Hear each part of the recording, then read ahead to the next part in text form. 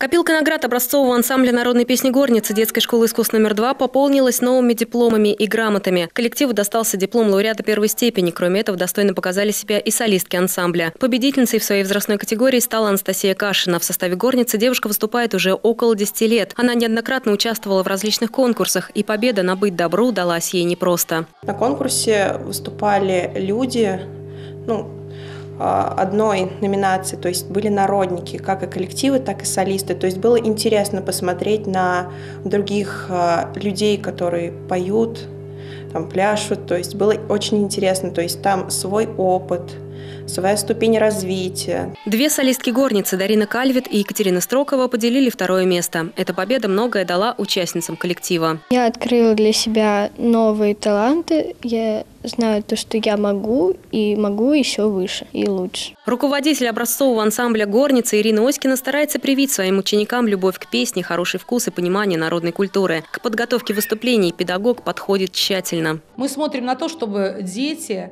чтобы, во-первых, они любили то, что они поют, понимали, о чем они поют, пропагандировали народную песню, потому что это наша история музыкальная, понимали, когда она написана, в какое время года даже она написана, для чего. В ближайших планах горницы выступления на концертных площадках нашего города и участие в хоровом конкурсе народной музыки в Дзержинске. Екатерина Опенова, Артемий Глазков, Сергей Рябов, Служба новостей, Саров, 24.